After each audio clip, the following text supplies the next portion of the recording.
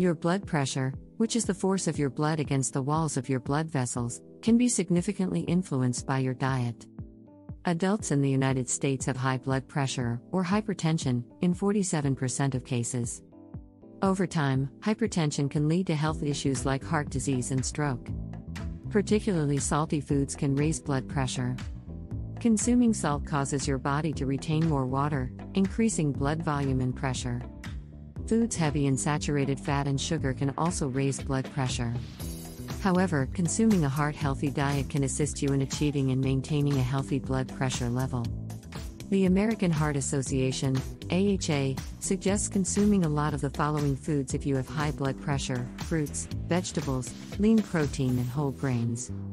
In addition, the American Health Association advises avoiding meals that can maintain high blood pressure, such as red meat, salt, foods, and drinks that contain added sugars.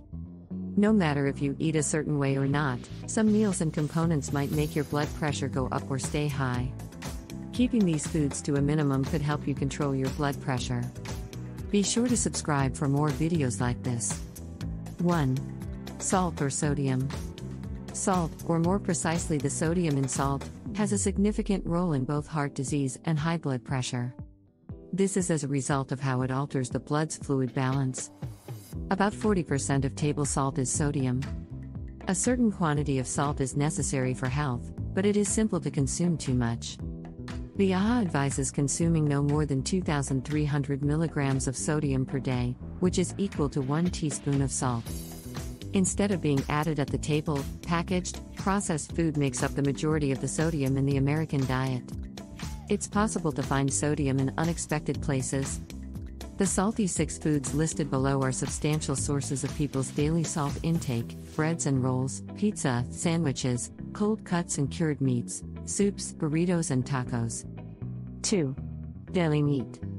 Processed luncheon and deli meats are frequently high in salt. This is because salt is used by manufacturers to cure, season, and preserve these foods. Just two slices of bologna have 910 milligrams of salt in them, according to the USDA database.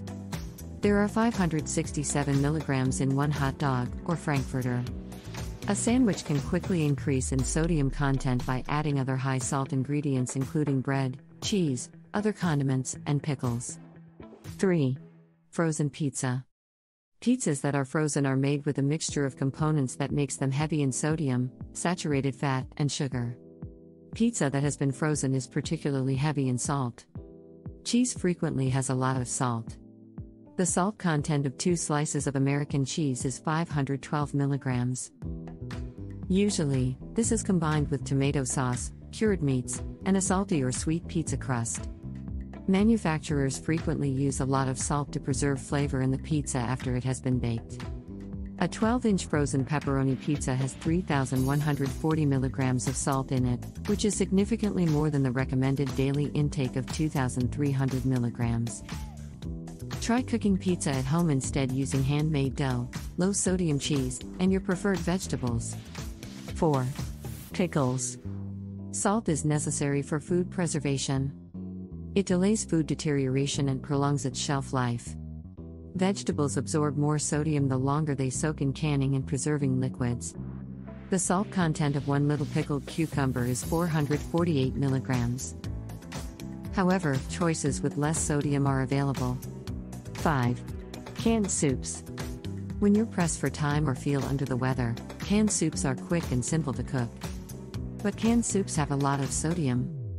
The amounts in canned and packaged broths and stocks might be comparable. They are therefore capable of raising your blood pressure. A can of chicken and vegetable soup has 2,140 milligrams of sodium in it, compared to 1,110 milligrams in a can of tomato soup. Instead, try picking soups with less salt or making your own homemade soup with fresh ingredients. 6. Sugar. Several factors can cause sugar to raise your blood pressure. According to research, both adults and children who consume sugar, especially in the form of sugar sweetened beverages, are more likely to gain weight. Obesity and overweight people are more likely to have high blood pressure. Additional research is required, but it's possible that added sugar directly raises blood pressure. According to a 2019 research of women with high blood pressure, Cutting back on sugar by 2.3 teaspoons could lower systolic and diastolic blood pressure by 8.4 mm Hg and 3.7 mm Hg, respectively. 7. Processed foods. It is best to cut back on saturated fats and stay away from trans fats to maintain heart health. People who have high blood pressure should be aware of this in particular. Trans fats are synthetic fats that lengthen the shelf life and stability of packaged goods.